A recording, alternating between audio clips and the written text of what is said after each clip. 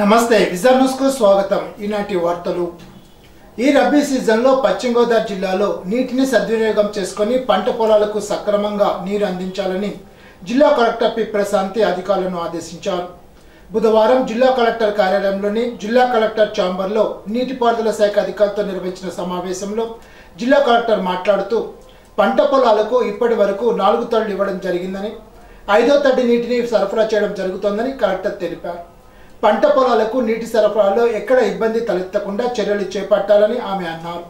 మంచినీటితో రొయ్యల చెరువులు పెంచుతున్న ప్రాంతాల్లో అధికారులు ఎక్కువ దృష్టి పెట్టి మోటార్ల ద్వారా నీటి వినియోగం చేయకుండా కట్టడి చేయాలని కలెక్టర్ సూచించారు. ఇప్పటి వరకు జిల్లాలో డెబ్బై ఆయిల్ ఎలక్ట్రికల్ ఇంజనీర్లను సీజ్ చేయడం జరిగిందని కలెక్టర్ తెలిపారు. టీములు ఎప్పటికప్పుడు పర్యవేక్షించాలని అన్నారు. ఆక్వా రైతులు ఎక్కడైనా ఇంజన్ల ద్వారా నీటిని తోడుతున్నట్లయితే వాటిని సీజ్ చేయాలని కలెక్టర్ ఆదేశించారు. బుధవారం భీమవరం మండలం చిన్నమిరం శ్రీ చైతన్య కాలేజీలో ఇంటర్మీడియట్ పరీక్షా కేంద్రాన్ని జిల్లా కలెక్టర్ పి. ప్రశాంతి ఆకస్మిక తనిఖీ చేశారు. ఈ సందర్భంగా జిల్లా కలెక్టర్ మాట్లాడుతూ ఇంటర్మీడియట్ పరీక్ష నిర్వహణలో మాస్ కాపీయింగ్ జరగకుండా కట్టుదిట్టమైన చర్యలు తీసుకోవాలని అన్నారు. పరీక్ష నిర్వహణ అంతా సీసీటీవీలతో పర్యవేక్షణను జిల్లా కలెక్టర్ స్వయంగా పరిశీలించారు. వేసవి దృష్ట్యా పరీక్షా కేంద్రాల్లో త్రాగునీటి తదితర మౌలిక సదుపాయాలకు చర్యలు తీసుకోవాలని అన్నారు. పరీక్షా కేంద్రానికి వచ్చే విద్యార్థిని విద్యార్థులకు ఎటువంటి అసౌకర్యం కలగకుండా తగు జాగ్రత్తలు తీసుకోవాలని ఆమె సూచించారు.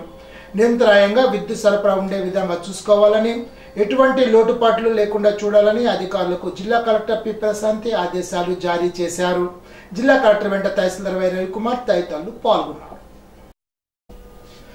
వస్తువుల నాణ్యత సామర్థ్యం స్వచ్ఛత ధర ప్రమాణాలకు సంబంధించిన అవగాహన వినియోగదారులు కలిగించడం ప్రపంచ వినియోగదారుల హక్కుల దినోత్సవం ముఖ్య ఉద్దేశమని రెవెన్యూ డివిజన్ అధికారి దాసిరాజు అన్నారు. బుధవారం భీమవరం ఛాంబర్ ఆఫ్ కామర్స్లో ప్రపంచ వినియోగదారుల హక్కుల దినోత్సవ కార్యక్రమంలో ముఖ్య అతిథిగా ఆర్డీఓ దాసిరాజు పాల్గొన్నారు. ఈ సందర్భంగా ఆర్డీఓ మాట్లాడుతూ వినియోగదారుల హక్కుల సమాచారం అవగాహన ప్రతి వినియోగదారులకు కల్పించవలసిన బాధ్యత మనందరిపై ఉందని అన్నారు. వినియోగదారులకు చైతన్యం సంరక్షణ సంక్షేమం తదితర సేవలను సంఘాలు సంస్థలు మరింతగా బాగా పనిచేయాలని అన్నారు. నాణ్యమైన సేవలు పొందే సమాచారాన్ని తెలుసుకునే హక్కు ప్రతి ఒక్కరికి ఉందని అన్నారు. వస్తువుల సేవలను ఎంపిక చేసుకునే హక్కు వివిధ రకాల వస్తువులు సేవలు పొందేటప్పుడు వాటి మధ్య రేటు ప్రతి వినియోగదారులు తెలుసుకోవడం మంచిదని అన్నారు. వినియోగదారుల ఇబ్బందులను అవసరాలను ఫోరంలో వినిపించడం ద్వారా అవసరమని అన్నారు. కార్యక్రమంలో జిల్లా సివిల్ సప్లై అధికారి ఎన్ సరోజ జిల్లా మేనేజర్ శివరాం ప్రసాద్ తూనికలు కొలతల శాఖ సహాయ కమిషనర్ నాగరాజు జిల్లా వినియోగదారుల సంఘ అధ్యక్షులు బొబ్బిలి బంగారయ్య ఉపాధ్యక్షులు మేరం దుర్గా ప్రసాద్ జి. గోపాలకృష్ణంరాజు హనుమంతరావు వివిధ సంఘాల సభ్యులు తదితరులు పాల్గొన్నారు. పెంటపాడు ప్రభుత్వ పోస్ట్ బేసిక్ స్కూల్లో మధ్యాహ్న భోజన పథకంను జిల్లా కలెక్టర్ తనిఖీ చేశారు. మెను ఏమిటి మెను ప్రకారం పెడుతున్నారని పిల్లలను జిల్లా కలెక్టర్ అడిగి తెలుసుకున్నారు. వండిన పదార్థాలను జిల్లా కలెక్టర్ చూశారు. ఈ సందర్భంగా జిల్లా కలెక్టర్ ప్రశాంతి మాట్లాడుతూ మధ్యాహ్న భోజనం మన ఇంటి వద్ద భోజనం ఎలాగ ఉన్నాయో ఆ విధంగా ఉండాలని అన్నారు. మరుగుదొడ్లు పరిసరాలు పరిశుభ్రంగా ఉండేలాగా చూడాలని అన్నారు. బహిరంగ మలం మూత్ర విసర్జన ద్వారా వచ్చే అనర్థాలపై విద్యార్థుల్లో అవగాహన కల్పించాలని అన్నారు. విద్యార్థిని విద్యార్థులు ఎటువంటి ఫిర్యాదులు చేసినా బాధ్యత వహించాలని జిల్లా కలెక్టర్ పి. ప్రశాంతి అన్నారు. జిల్లా కలెక్టర్ వెంట ఇన్ఛార్జ్ జిల్లా joint collector Suryateja RDO Dasiraju జిల్లా వ్యవసాయ సలహా మండలి చైర్మన్ కె. శ్రీనివాసరావు వ్యవసాయ శాఖ అధికారి జగ్ వెంకటేశ్వరరావు జిల్లా విద్యాశాఖ అధికారి ఆర్ వెంకటరమణ తహసీల్దార్ జీవి శేషగిరి వ్యవసాయ శాఖ సహాయ సంచాలకులు మురళీకృష్ణ ఎంపీడీఓ దామోదరంరావు ఎంఈఓ శ్రీనివాసరావు తదితరులు పాల్గొన్నారు. పొలంబడి ద్వారా రైతులకు సాగు ఖర్చును తగ్గించుకుని అధిక దిగుబడి పెంచుకునే దిశగా వ్యవసాయ శాఖ అధికారులు కృషి చేయాలని జిల్లా కట్టప్పి పి అన్నారు. బుధవారం పెంటపాడు మండలం ఆకుతీగపాడు గ్రామంలో పొలంబడి కార్యక్రమాన్ని నిర్వహించారు. ఆకుతీగపాడు గ్రామ పొలాల వద్ద పొలంబడి కార్యక్రమంలో జిల్లా కలెక్టర్ పాల్గొని రైతులు రైతు సంఘాల రైతు నాయకులతో జిల్లా కలెక్టర్ మాట్లాడారు. రైతులతో పంట సాగు తదితర వివరాలను ఆమె అడిగి తెలుసుకున్నారు. ఈ సందర్భంగా జిల్లా కలెక్టర్ మాట్లాడుతూ వ్యవసాయంలో చీడపీడలను అరికట్టడానికి ఇష్టానుసారంగా రసాయన ఎరువులు పురుగు మందుల వినియోగం వలన సాగు ఖర్చు పెరిగి నాణ్యత లేని ఉత్పత్తులు పొందుతున్నామని అన్నారు. దీని కారణంగా మార్కెట్ రేటు లాభాలు గణనీయంగా తగ్గుతున్నాయని ఆమె తెలిపారు. ఈ పరిస్థితిని అధిగమించేందుకు రైతులకు పొలంబడి ద్వారా శిక్షణ అందించడం జరుగుతోందని తెలిపారు. రసాయనిక పురుగు మందుల వాడకం తగ్గించడం పర్యావరణ పరీక్షణ వంటి వాటిపై రైతులు పూర్తి అవగాహన పొందాలని జిల్లా కలెక్టర్ సూచించారు. సభలు సమావేశాలు ర్యాలీలు రోడ్ షోలు నిషేధిస్తూ రాష్ట్ర ప్రభుత్వం ఇచ్చిన అప్రజాస్వామిక చీకటి జీవ ఒకటి రద్దు కోరుతూ ఈ నెల ఇరవైన తలపెట్టిన చెలో అసెంబ్లీని విజయవంతం చేయాలని సిపిఐ పశ్చిమ గోదావరి జిల్లా కార్యదర్శి కోనాల భీమారావు కోరారు.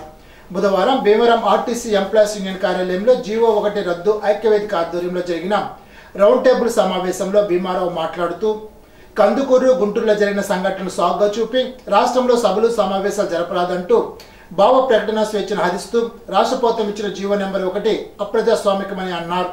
సిపిఎం జిల్లా నాయకులు బి వాసుదేవరావు రౌండ్ టేబుల్ సమావేశానికి అధ్యక్షత వహించి మాట్లాడుతూ రాష్ట్ర ప్రభుత్వం వైఫల్యాన్ని ఎండగడుతూ ఉద్యమిస్తున్న విపక్షాల గొంతు నొక్కడానికే రాష్ట్ర ప్రభుత్వం జీవో నెంబర్ ఒకటి జారీ చేసిందని అన్నారు.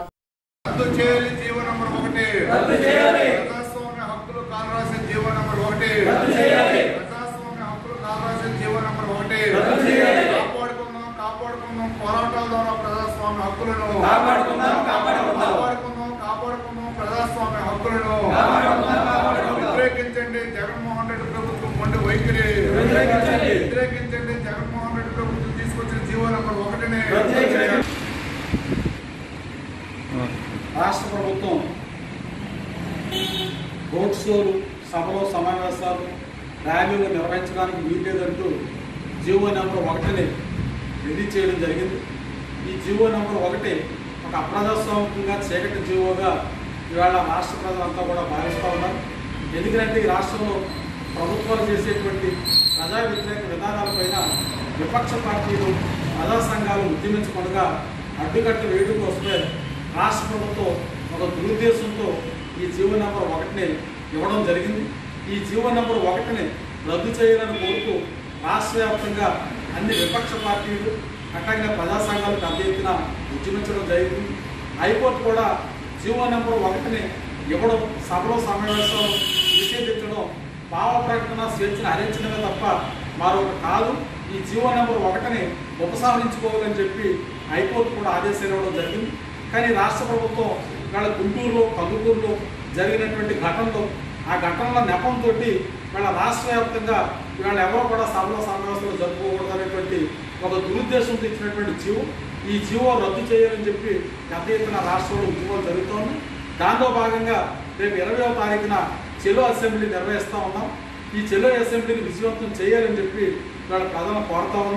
సిపిఐ భీమవరం పట్టణ కార్యదర్శి చెల్లబోయిన రంగారావు మాట్లాడుతూ ప్రజా ఉద్యమాలపై ఉక్కుపాదం మోపుతూ బ్రిటిష్ కాలం నాటి నియంత్ర చట్టాలను రాష్ట్ర ప్రభుత్వం ప్రజలపై రుద్దుతున్న రాష్ట్ర ప్రభుత్వ దుర్మార్గపు విధానాలను ప్రతి ఒక్కరు ఎండగట్టాలని అన్నారు.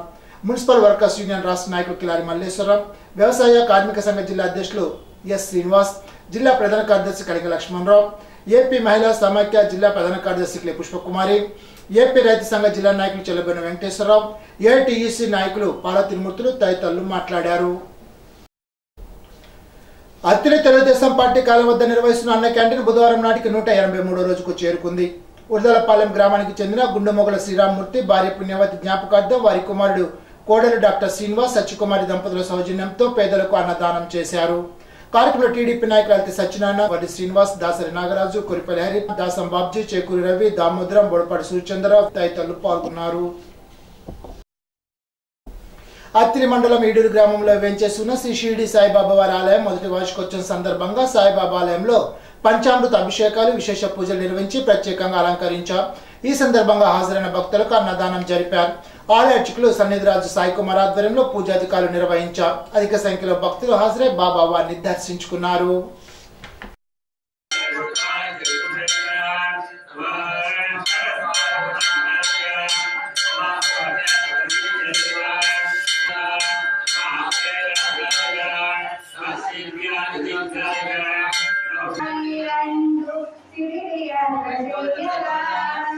ஓங்காய் திணிவாய் அன்பு செய்யாத தேயலாய் நன்னாய்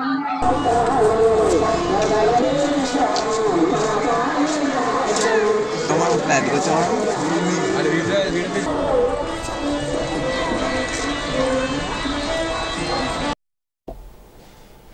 బాలికల్లో శారీరక మానసిక ఎదుగుదల లేకుండా వివాహాలు చేయడం చట్ట ప్రకారం నేరమని ఐసిడిఎస్ సూపర్వైజర్ ఎం శ్రీదేవి అన్నారు.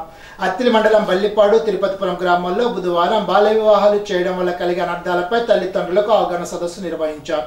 ఈ సందర్భంగా సూపర్వైజర్ ఎం శ్రీదేవి మాట్లాడుతూ బాలికలు ఉన్నత విద్యను అభ్యసించి జీవితంలో వివిధ రంగాల్లో ఉన్నత పదవుల్లో స్థిరపడాలని అన్నారు.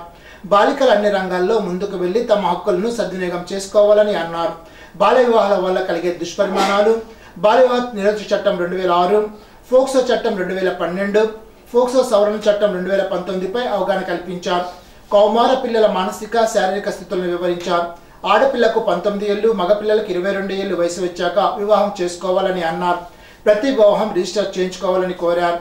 కార్యక్రమంలో తహసీల్దార్ ఏవి రామంజనేయులు ఎస్ఐ కేసీహెచ్ స్వామి గ్రామ మహిళా సంరక్షణ అధికారిని రాఘసుధ ఏఎన్ఎం అర్జునమ్మ ఎంఎల్హెచ్పి సుగుణ ఆశా అంగన్వాడీ కార్యకర్తలు పాల్గొన్నారు. తణుకు ఎంపీడీఓ కార్యాలయంలో అమృత సరఫర్ కార్యక్రమం కింద నియోజకవర్గ స్థాయి సమావేశం. గ్రామీణ నీటి సరఫరా శాఖ deputy executive engineer P Srinivas అధ్యక్షులు నిర్వహించారు. అమృత సరోవర్ పథకం ట్రాక్ల నిర్మాణంపై సమీక్షించారు. త్వరితగతిన ట్రాక్ల నిర్మాణం చేయాలని కోరారు. తణుకు ఇరగవరం అత్తిలి ఎంపీడీఓలు టిఎస్ఎన్ మూర్తి కృష్ణమోహన్ విఎస్ఎస్ రామారావు విస్తరణ అధికారులు టెక్నికల్ అసిస్టెంట్లు తదితరులు పాల్గొన్నారు. తణుకులో శ్రీ గణపతి సచ్చిదానంద జ్ఞానబోధ సభ తణుకు శాఖ వారిచే అనగాష్టమి వ్రతం ఘనంగా నిర్వహించారు. కేజీఆర్ ఆంజనేయులు ఇంటి వద్ద నిర్వహించిన ఈ కార్యక్రమంలో పెద్ద సంఖ్యలో భక్తులు పాల్గొన్నారు. ఇప్పుడు ఒక చిన్న బ్రేక్.